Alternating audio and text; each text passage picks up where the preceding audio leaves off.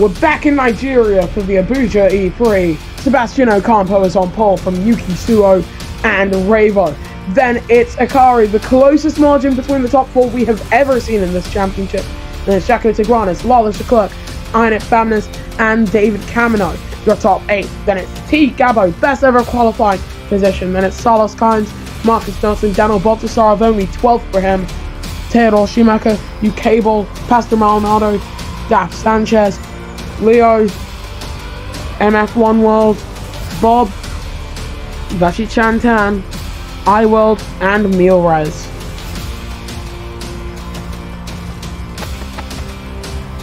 After an entire uh, championship head spin last time out, that saw Akari take the lead.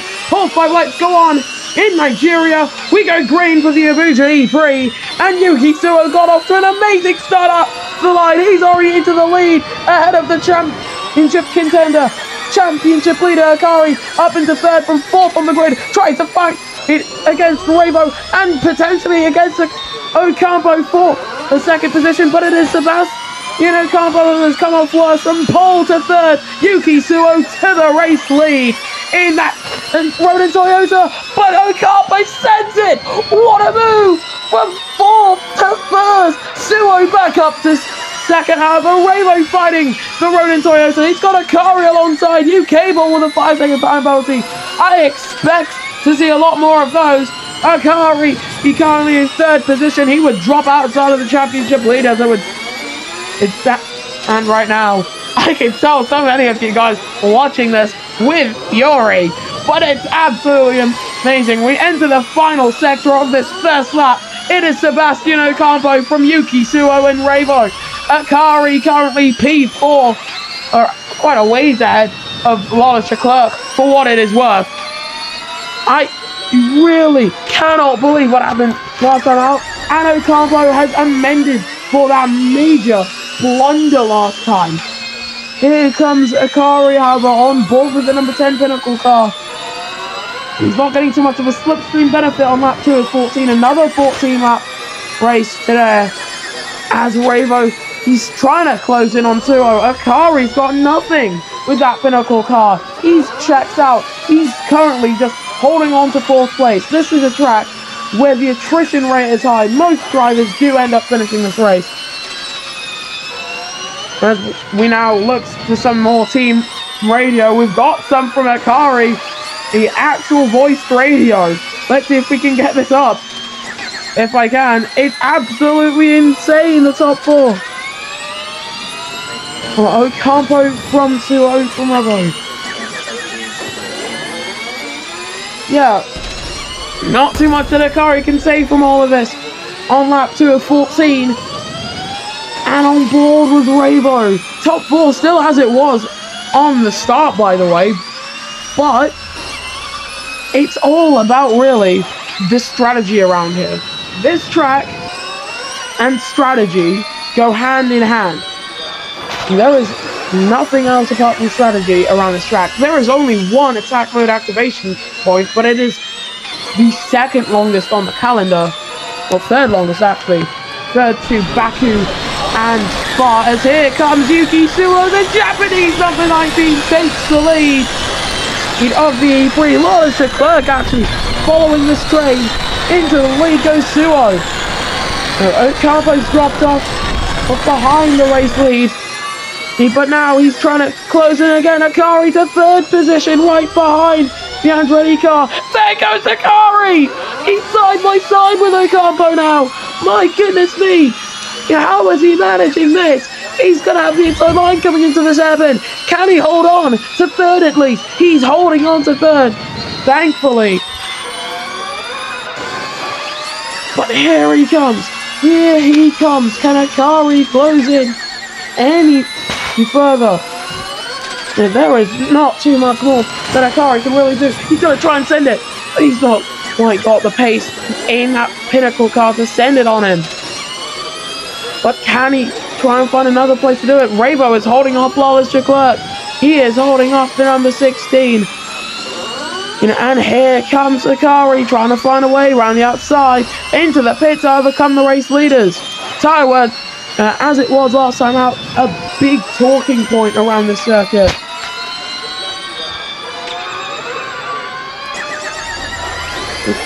Take a look.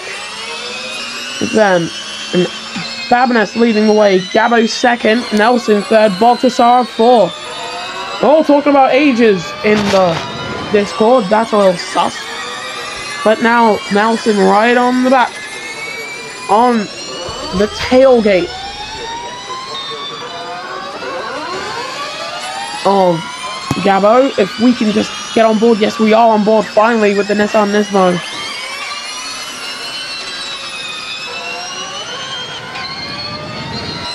We're taking a look at this. Gabo, ecstatic in P2. Got 10 laps left to run here under the lights in Abuja. And the question is, can we just see a little more pace in that Nissan Nismo car? Look, you would look further back with Ocampo and Akari, but there's not too much to look at. Ocampo is actually closer to Suo. And, you know, notes on all of this, by the way. Hey, since everyone in the server is talking about ages, I might as well mention it here. B-Dragon Sonic is the youngest race, race winner in the championship so far. As into the pits, oh dearie me, so many more cars coming in. These tires are not holding up. Bachi Tan is leading. Holy moly, this is what happens when your tires wear out faster than my jokes.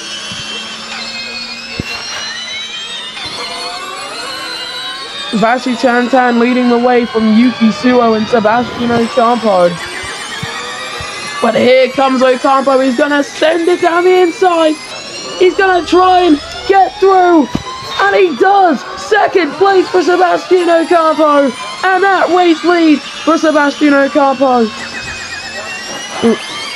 And that is how to take in that race lead very easily. However, for Vashi Chantan, for the number 22 car. It's all about how close he can really stay away from Ocampo. And if he can go very long on those medium tires, 22%! 22% mediums. Oh my goodness me. Rookie driver leading.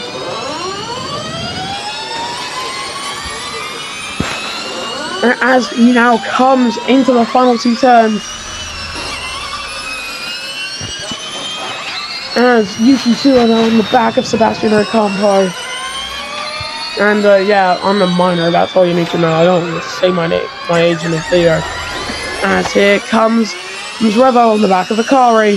Akari, he's really dropped off in the back of Suo as well. He's three seconds off the back. Vashi Chan has come in. As here comes Suo. Revenge! Japanese revenge! Force Ocampo with a new faster flat. Can't really see the time, but there goes Suo. He sent it. He spies his way up into the lead of the E-Prix. The Toyota Gazoo racing car takes the lead. Once more, Akari drops the fourth. He needs to try and get past Bravo if he wants to hold on to his hopes of winning a championship.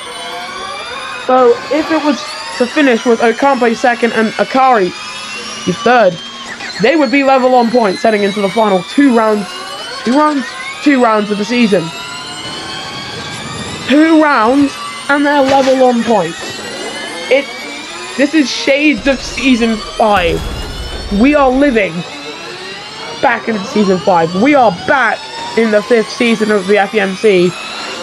But that is only if Akari can get past because Suo is currently leading the E-Prix from a Campo, Revo, and Akari. Team radio lines are going wild.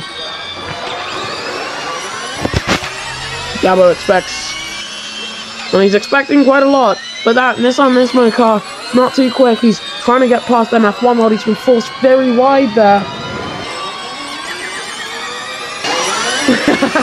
oh, that's funny. This is what happens when you allow drivers to talk to each other. So Ravo, he's going to offset his strategy. Half race distance, he's going on to soft this could pay off. This could work then.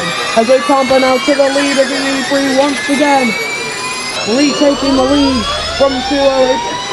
it's been a fight. It's quite, it's been quite the fight for the race lead we've been watching here.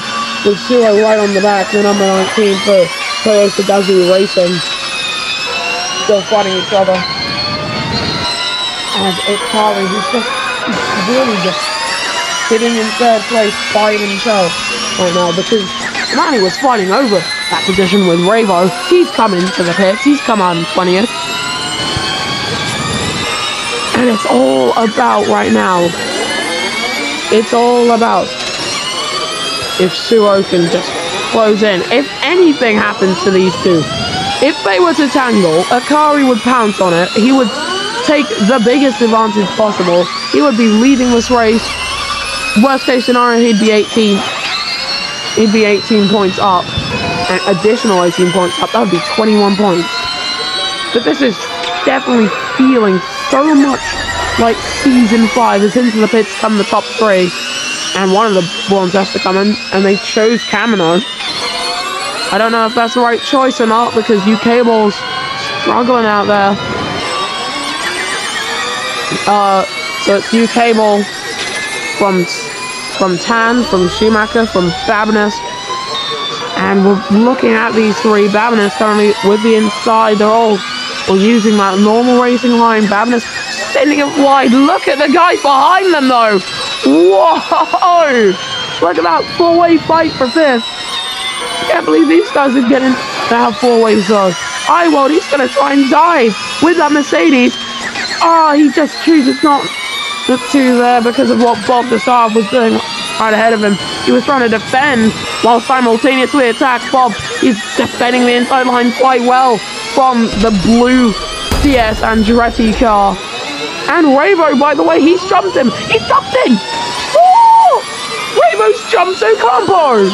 Wow, that's insane! Well done, Hyperdrive Racing! What a strategy that decision it was to Cole, call Ravo in first. They're to have to keep calling him in a lap before the guys uh, ahead of him. But that's not to matter too much when he's to get past this quite quickly here. This is actually helping out Akari quite a bit as well. Because if Ocampo is right ahead of him, he's to hold the championship lead unless it's a 1-2. As there goes Ocampo ahead of that silver and black hyperdrive car. Singapore quali for F1 in a few hours. As, oh, this is always funny to see. Half the field stay out, half the field come in. We are nine laps into this E-Prix. Five to go. Suo from Revo, from Ocampo, from Akari. That is your top four. Ocampo with the fastest lap, which will give him one more point and will give him back the championship lead heading into the last 50 points gainable in this championship. Akari, didn't try to do the undercut. Instead, it was Revo trying to do the undercut. Uh, but Revo, he's 1.1 seconds off the back of Yuki Suo. That gap is stable. That is a very stable gap. Yuki Suo, the Japanese driver in the number 19 car, could wind up with a race win today. That would be quite... That would be quite the finish. That would be quite the finish. See, as here comes Ravo side by side with Ocampo coming through. Ocampo with the outside, Ravo with the inside. And Ravo is going to have to go to the in. He's going to have to stay on the outside, rather, as Ocampo takes second. Ocampo up into second position. Four laps left in the E-Prix as Ravo pits again. I would have expected Akari to also peel in, but, you know, can't win them all. Camo's off also in. Fastest lap going to Akari, who is trying to close in on his biggest championship rival. He is leading the championship so far as Akari, but he needs a lot more than that. He needs quite a bit more than that. So we're looking at this. It's Suo from Ocampo from Akari. We are still waiting, waiting. This is really quite the, edge of your seat race here in Abuja there. It's such, um, it's so incredible. Well, as Neil Ray setting a fastest sector. It's always Mealres setting quick sector times, especially here in Abuja, whenever he can get into the get onto the track. As here we go, coming to the final three turns. I think the top three might have to pit. I think if they don't pit, if drivers who don't come into the pit in the next few laps don't pit, they're going to struggle. If you pit on lap 12, you're going on to soft tyres, that will take you on to take you to the end of the race. But if you pit now for soft tyres, that's not good. That's not good in the slightest. Gabo, he's currently be told he's currently being told that that would currently be a P5 for him. He might actually be leading. Oh my god. Drivers coming in, so that will be Ucable leading the way. And Gabo will currently hold second, but he'll need to come into the pit one more time, else risk a puncture.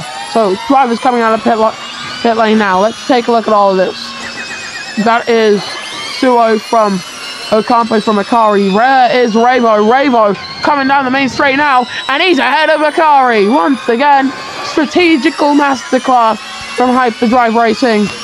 And luckily this time their driver sh should be able to make it to the end of the race with little difficulty. Trying to find a way. He passed Sanchez now. Suo is definitely going to win this race now.